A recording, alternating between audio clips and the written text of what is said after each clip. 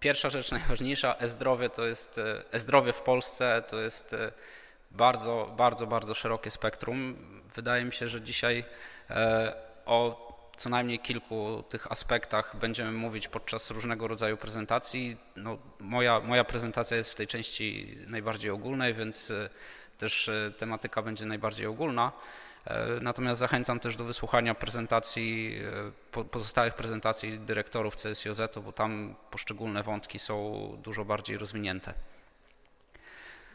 Pierwsza, najważniejsza rzecz, mimo wszystko, mimo że informatyzacja to jest naprawdę dużo więcej niż projekt P1, to e, pierwsza połowa prezentacji będzie tylko i wyłącznie o projekcie P1. E, jeżeli chodzi jeszcze tylko o bazę, jaką my mamy tutaj na mm, jakby w szpitalach, to, to pan minister już, już wspomniał, że mamy e, w stosunku do roku 2014 kilkunastoprocentowy wzrost, jeżeli chodzi o poziom zinformatyzowania podmiotów leczniczych. E, oczywiście liderami w kraju e, są nadal szpitale, tutaj się nic nie zmienia, to, to jest też taki trend na całym świecie występujący, że szpitale są najbardziej zinformatyzowanymi podmiotami w całym systemie. No i tak jak, tak jak była mowa, ponad 40% jest już przygotowanych do tego, żeby prowadzić elektroniczną dokumentację medyczną. Natomiast oczywiście jest też tak, że e, poszczególne standardy tej elektronicznej dokumentacji medycznej, one jeszcze wymagają tutaj e, czasami precyzowania ze strony CSIOZ-u.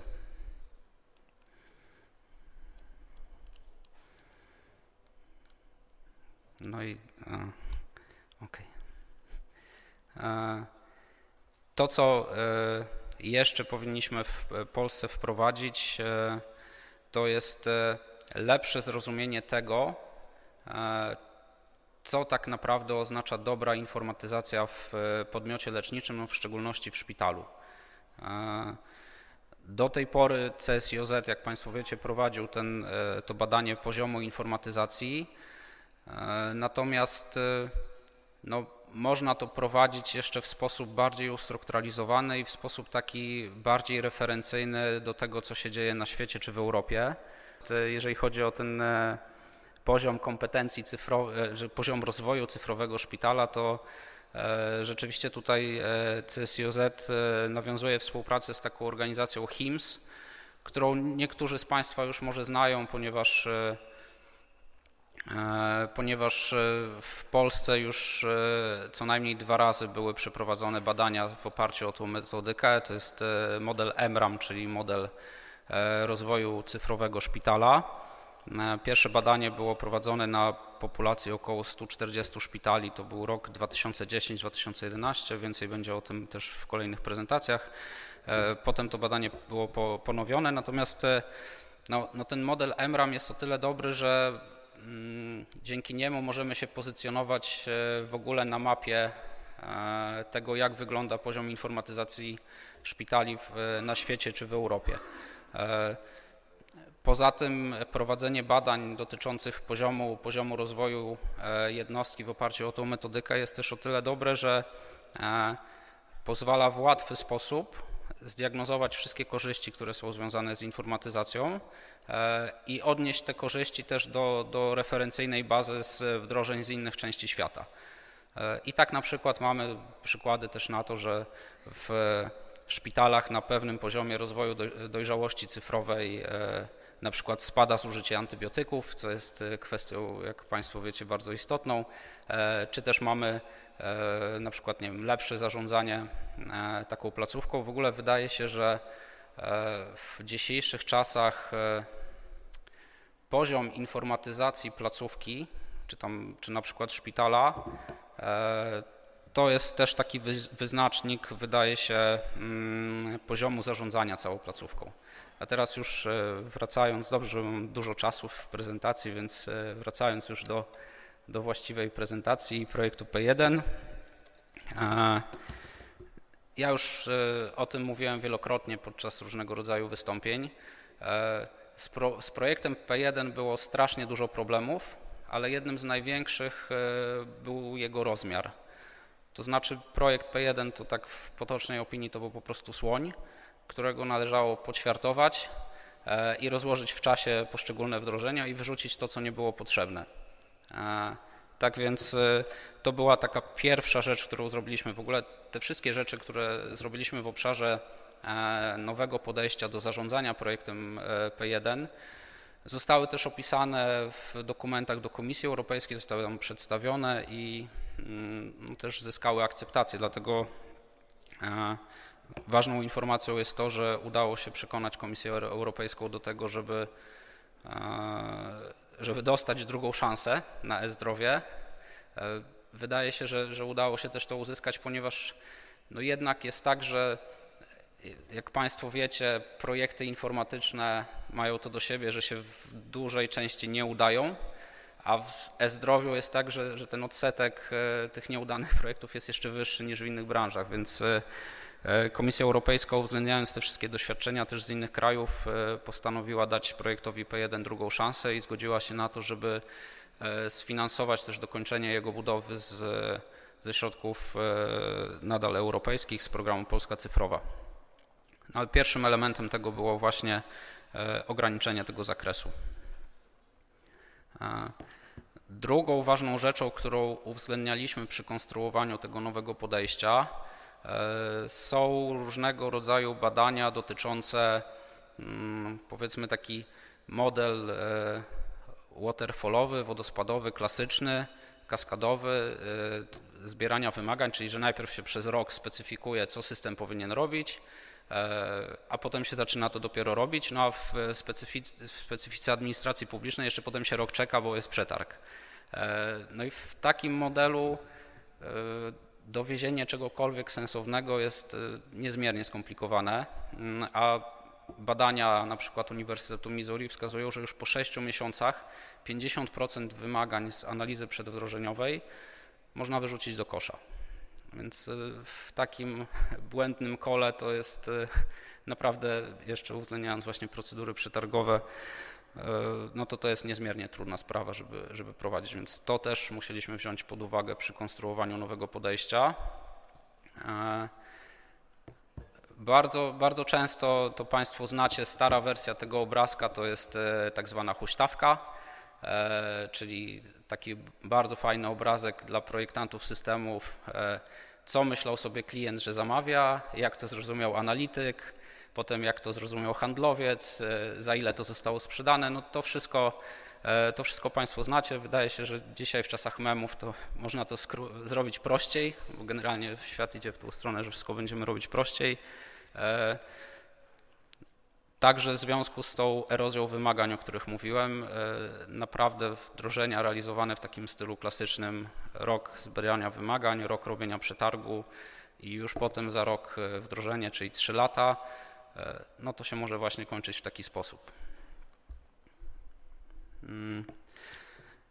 No, obserwując też e, to, co się dzieje na Zachodzie, w Stanach Zjednoczonych w zakresie wytworzenia oprogramowania, e, patrzyliśmy też na, na różnego rodzaju raporty, na przykład Standish Group, mm, no, które w swoim ostatnim, czy przedostatnim raporcie Chaos Report wskazywało na to, jaka metodyka wytwarzania oprogramowania tak naprawdę daje największe szanse na powodzenie mm, wdrożenia systemu, tak na, na, na koniec. E, I jeszcze były takie głosy, że no ok, metodyka Agile jest bardzo fajna i ona się bardzo fajnie sprawdza w małych projektach, ale to P1 to jest tak, taka duża rzecz, ważna, więc zróbmy ją klasycznie. E, no ale dane e, po prostu z tysięcy wdrożeń na świecie pokazują, że, że wręcz odwrotnie, że metodyka zwinna wytwarzania oprogramowania i projektowania wymagań jeszcze bardziej się sprawdza w tak dużych projektach jak P1. No, przykładem innym niż, niż Polska jest chociażby e, NHS, czyli Brytyjska Służba Zdrowia, ostatnio powołany NHS Digital, gdzie jest po prostu przyjętą doktryną to, że wszystkie projekty od, e, od co najmniej kilku lat są już realizowane w trybie agile'owym po takim znanym i po takiej znanej i spektakularnej, jeszcze dużo bardziej spektakularnej porażce e, ich informatyzacji, mm, gdzie kilkadziesiąt milionów funtów tak naprawdę wydano i różnego rodzaju wyspowe wdrożenia się pojawiły, natomiast no nie dało to takich efektów, jak było założone. Więc zmiana właśnie podejścia do wytwarzania oprogramowania i do zarządzania całym projektem, ostatnim elementem tej układanki była właśnie, było właśnie przyjęcie e, agile'owego podejścia do realizacji projektu. Mm. I tak jak powiedziałem, taki pakiet e, zmian po pierwsze zyskał akceptację Komisji Europejskiej. E, dostaliśmy zgodę na to, żeby sfinansować dokończenie budowy ze środków europejskich. Po drugie, zyskał też akceptację e, Komitetu Rady Ministrów do Spraw Cyfryzacji. W lutym e, tego roku dostaliśmy już takie ostateczne zielone światło e, do tego, żeby po prostu już o tym nie rozmawiać, tylko wreszcie to zrobić. No i takie pierwsze efekty mm, widać już właśnie dzisiaj. W dniu dzisiejszym publikujemy e, pierwszą wersję dokumentacji integracyjnej do recepty, czyli coś, co e, jako, że ja już dość długo w CSJZ pracuję, to zacząłem 1 stycznia 2010 roku pracę w CSJZ, a gdzieś w okolicach 6 stycznia, no może nie 6, 7-8 stycznia byłem na pierwszym spotkaniu z przedstawicielami urzędów marszałkowskich e, gdzie no oczywiście wtedy nie rozumiałem nic z tego, co się, co się tam na sali mówiło, natomiast utkwiło mi w pamięci to, że e, urzędy marszałkowskie cały czas mówiły opublikujcie specyfikację WSDLI, czyli opis usług sieciowych, do systemu P1, bo nie wiadomo jak się integrować. No i już właśnie, właśnie to zrobiliśmy, więc można zameldować wykonanie zadania. Trochę, trochę późno, ale w tym nowym, e, w tym nowym podejściu no to wreszcie to się, to się zadziało.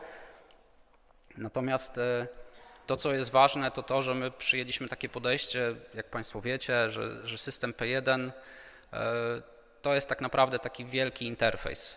Wszystko praktycznie dzieje się jednak w systemach lokalnych, czyli gabinetowych, aptecznych czy szpitalnych, natomiast no, system P1 tylko służy do tego, żeby wymieniać informacje pomiędzy tymi systemami.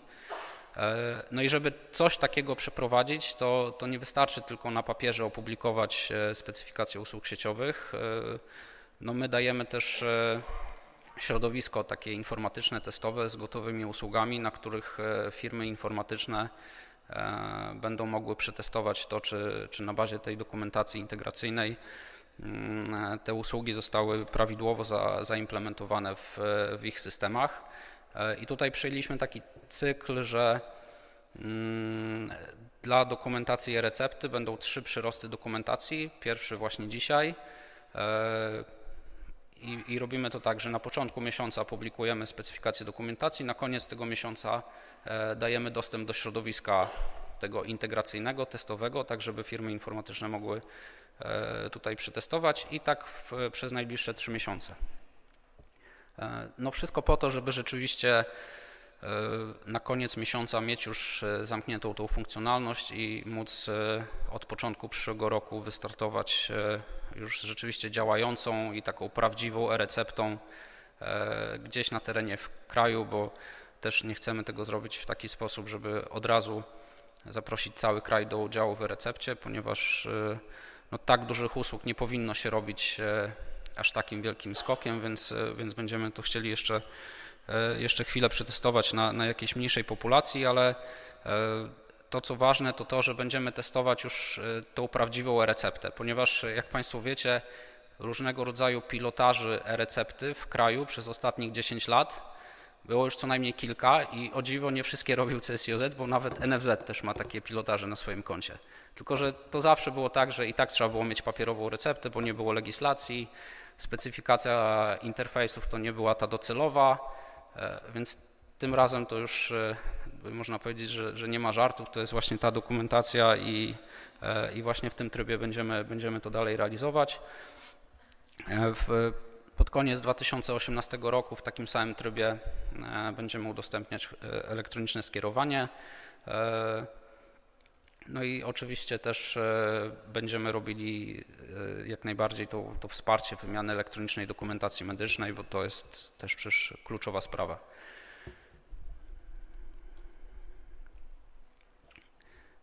I to jest P1. Natomiast chciałbym pokazać właśnie ten szerszy kontekst informatyzacji. Mm, I tak, podstawą wszystkich systemów e-zdrowia są dobrze działające rejestry. My akurat w Polsce mamy o tyle dobrą sytuację, e, że rejestry mamy rzeczywiście uporządkowane. Mówię o takich rejestrach jak e, rejestr lekarzy, rejestr podmiotów leczniczych, rejestr aptek czy rejestr leków. E, ten proces następował no, praktycznie od 2010 roku. Był realizowany projekt P2. Zresztą on, ta, ta, platforma, na której są udostępnione te rejestry, cały czas funkcjonuje i, i cały czas się rozwija, bo tych rejestrów co trochę po prostu do tej platformy przybywa, ale to co najważniejsze to to, że po prostu zawartość tych rejestrów można sobie każdego dnia pobrać. E, te rejestry są w stanie wymieniać dane między sobą, więc jak konstruujemy jakieś usługi na przykład dla przedsiębiorców, to, e, to też e, te dane po prostu mogą być wymieniane pomiędzy rejestrami. To jest bardzo ważna sprawa. No ale najważniejsza też jest taka, że bez tych rejestrów nie dałoby się zrobić chociażby takiej elektronicznej recepty. No bo żeby zrobić elektroniczną receptę, to my musimy wiedzieć, kto jest lekarzem, e, kto jest pielęgniarką, jakie są leki dopuszczone do obrotu w kraju, jakie są apteki chociażby i jakie są podmioty lecznicze. No i to wszystko, to wszystko mamy na jednej platformie, więc e, możemy wychodzić e, z tego rodzaju usługami. I na bazie tego CSIOZ przez te ostatnie lata, mimo że oczywiście był postrzegany przez pryzmat P1, to dla administracji publicznej zrobił naprawdę sporo różnego rodzaju usług. To są w nomenklaturze ustawy o systemie informacji, to są tak zwane systemy dziedzinowe. E, macie je Państwo wymienione, Pan Minister też o, o kilku wspomniał. E, z takich ciekawszych ja jeszcze dodam na przykład system obsługi list refundacyjnych, gdzie mm, no, cały proces tworzenia przez ministra zdrowia listy refundacyjnej, czyli od wniosku firmy farmaceutycznej aż na końcu po wydanie decyzji administracyjnej jest przygotowane narzędzie, które w tej chwili też już jest wykorzystywane w Ministerstwie Zdrowia. Natomiast od, e, od stycznia przyszłego roku będzie już obligatoryjne, czyli wszystkie firmy farmaceutyczne będą musiały składać wnioski za pośrednictwem e, tego systemu. Natomiast e, no z, z systemami CSJZ-u jest taki problem, o którym zawsze mówiłem, ta czarna dziura, jeżeli chodzi o usługi dla obywatela, bo niestety obiektywnie e, no CSJZ nie dostarczył żadnej takiej sensownej usługi, to, to właśnie miał być projekt P1, który teraz, e, teraz po prostu tą czarną dziurę będziemy zasypywać.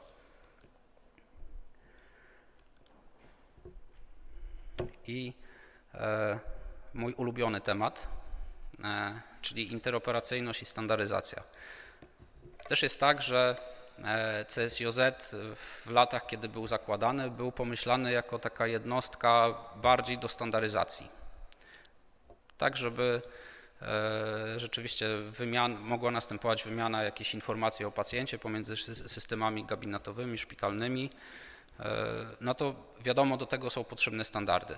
Natomiast no, prze, przez te lata jednak CSJZ bardziej był wykorzystywany jako maszynka do robienia różnego rodzaju systemów informatycznych. E, no jak Państwo wiecie, jedne były mniej udane, drugie bardziej udane, natomiast e, na polu standaryzacji e, było zrobionych trochę rzeczy, ale to nie było po pierwsze kompleksowe podejście i po drugie tych rzeczy było za mało, więc to wszystko żeśmy zdiagnozowali i teraz, teraz rozwijamy. Powołaliśmy w CSJZ i Państwo też pewnie macie na ten temat informacje albo uczestniczycie.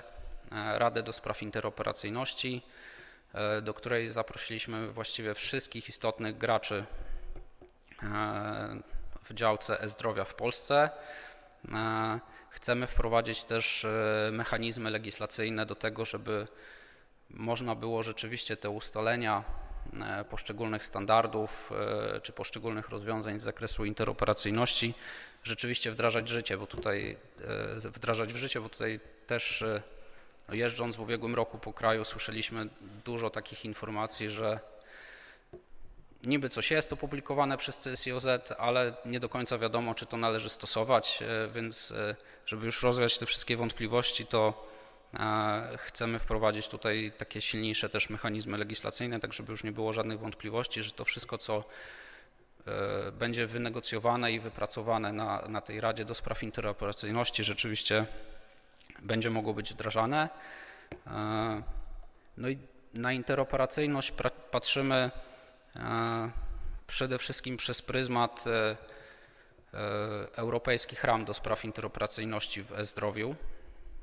Bo e-zdrowie jest na tyle specyficznym tematem, że też się dorobiło swojego, swojego dokumentu na poziomie europejskim, no ale musimy patrzeć na kwestie e, techniczne, czyli chociażby profile IHE czy standard HL7, który jest przyjęty w Polsce, na kwestie organizacyjne.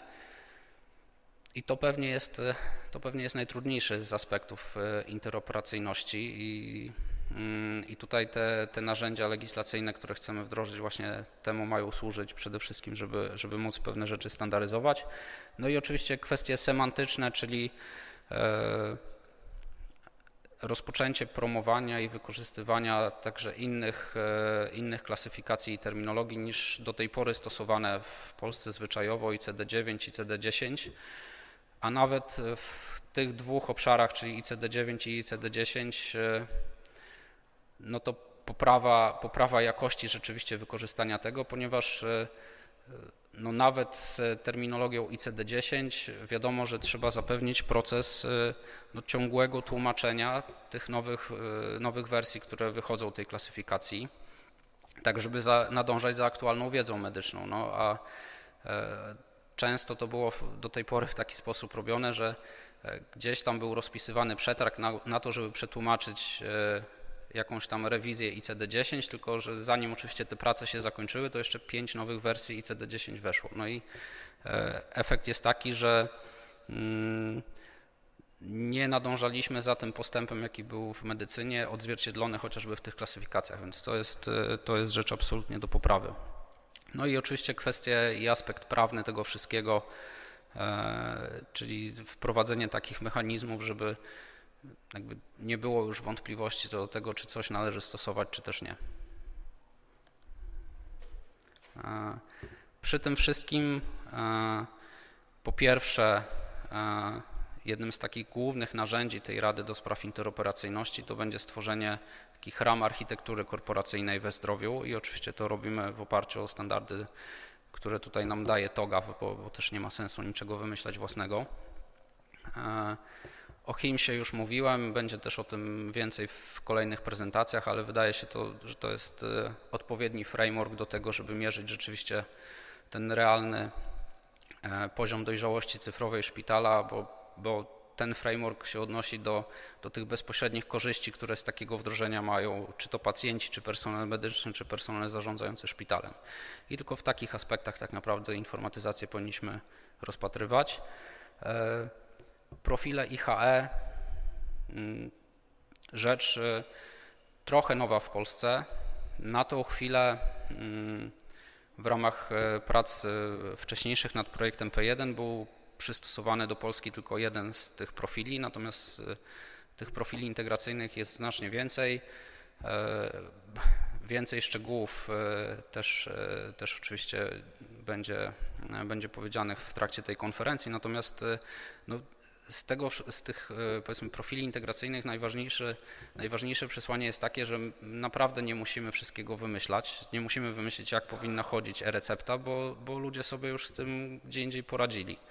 I wystarczy na zasadzie open source'ów e, po prostu wykorzystać e, tą wiedzę, która, która już na zachodzie jest i, i po prostu to zrobić, a niekoniecznie, niekoniecznie w starać się na tak bardzo mocno kustomizować to pod warunki polskie, ponieważ e, no, takie kustomizacje też powodują to, że, że nie do końca jesteśmy referencyjni z tym, e, z tym, co się dzieje w innych krajach, a akurat w obszarze recepty to jest o tyle istotne, że, że mamy tutaj e, jako resort ambicje mm, uruchomienia, jak już uruchomimy receptę w kraju, to, to, to bardzo szybko uruchomienia także re, elektronicznej recepty transgranicznej.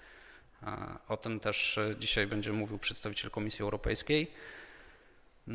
Standard HL7 mm, najbardziej e, rozpowszechniony w Polsce standard, to jest w ogóle rodzina standardów. E, mamy jako CSJZ polską implementację krajową standardu HL7CDA i jak najbardziej planujemy ją po prostu tylko rozwijać.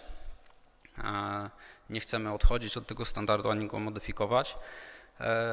I też ważna rzecz na koniec, przy projektowaniu tych wszystkich stron internetowych czy usług, ważne jest też to, żeby zapewnić dostępność do tych stron internetowych czy do tych usług dla osób niepełnosprawnych czy, czy z różnego rodzaju problemami z posługiwaniem się komputerami. Na to też są standardy, notabene wymagane prawnie, standard WCAG i warto, warto o tym pamiętać przy, przy, tym, przy wszystkich naszych działaniach informatycznych. E, ja tutaj wykorzystam tę okazję, żeby powiedzieć, że akurat jest tak, że strona CSIOZ-u e, w 2017 roku została uznana za najbardziej w całej administracji publicznej dostosowaną do, do wymogów właśnie osób niepełnosprawnych nawet przed stroną www.niepełnosprawni.gov.pl, więc e, e, naprawdę tutaj kawał roboty ze strony e, mojego zespołu, żeby to przygotować w taki sposób, ale tak naprawdę najważniejsze w tym wszystkim jest to, że no, strona internetowa stroną internetową. Jedni na tej stronie znajdą coś ciekawego dla siebie, i to jest pewnie zdecydowana mniejszość społeczeństwa, no bo strona CSUZ to jest jednak stroną taką bardzo merytoryczną. Natomiast traktujemy to przede wszystkim jako takie wyzwanie i zobowiązanie do tego, żeby usługi elektroniczne, które projektujemy, czyli chociażby elektroniczna recepta, żeby one były też na jak najwyższym poziomie dostępności, bo to jest, to jest prawdziwe wyzwanie. Nie tyle właśnie strony internetowe statyczne, ale elektroniczne usługi. Hmm. Te wszystkie działania w obszarze e, standaryzacji e, i te kierunki, którymi chcemy podążać, można, można sprowadzić tak naprawdę do jednego hasła API ekonomii. Mm, chcemy, e, i to jest jakby powiedzmy taka, taka wizja, do której chcemy dążyć w ramach tej Rady do Spraw Interoperacyjności, żeby każdy podmiot leczniczy miał rzeczywiście realny wybór tego, z jakich narzędzi chce korzystać i żeby wszyscy uczestnicy akceptowali fakt, że e, do pewnych specyficznych zadań można korzystać z bardzo specyficznych i bardzo, bardzo dziedzinowych aplikacji i nie do końca jest tak, że, że wszystko musi być jakby dostarczane w ramach jednego wielkiego systemu. E, no tutaj E-zdrowie już teraz, na przykład w Stanach Zjednoczonych, po, podąża drogą e-commerce'u, gdzie e, to API ekonomii jest bardzo mocno rozwinięte i jak Państwo byście popatrzyli strategie informatyczne działów e, marketingowych dużych, dużych koncernów, czy nawet, nawet też średnich koncernów, to jest tak, że tam jak się konstruuje to, jakimi narzędziami się posługuje dana firma, to naprawdę można wybierać spośród tysięcy różnego rodzaju rozwiązań i, i naprawdę każde z tych rozwiązań jest, jesteśmy w stanie ze sobą zintegrować i dobierać najlepsze rozwiązanie e, do naszego problemu. I to jest e, taka wytyczna, w którą, e, w którą chcemy inwestować i w którą stronę chcemy, żeby systemy zdrowia się w Polsce rozwijały. Przekładając to na coś, co, co może jest bardziej, bardziej zrozumiałe, to hasło mHealth, czyli E, ekosystem różnego rodzaju aplikacji mobilnych czy innych aplikacji e, funkcjonujących wokół e, tych klasycznych systemów szpitalnych i bazujących też na, na, tych, na, na tych danych z systemów szpitalnych, ale działa to w obie strony, bo z jednej strony te, te aplikacje są w stanie korzystać z tych danych, a z drugiej strony są w stanie też zasilać w dane systemy szpitalne. Hmm. API ekonomii, a druga rzecz, ta cała, ta cała standaryzacja, profile IHE, standardy HL7, e, to wszystko jest robione po to, żeby e, umożliwiać, tak na końcu to przecież o to w tym wszystkim chodzi, o lepszą opiekę nad pacjentem, o umożliwiać koordynację opieki nad pacjentem. E, jednym z filarów tego jest wymiana, wymiana dokumentacji medycznej o pacjencie, czyli wiedzy o pacjencie, tak żeby to nie musiało wyglądać tak jak do tej pory, wymiana dokumentacji papierowej, tylko żebyśmy już weszli w, tak definitywnie w erę cyfrową. I tym zakończę. Dziękuję bardzo.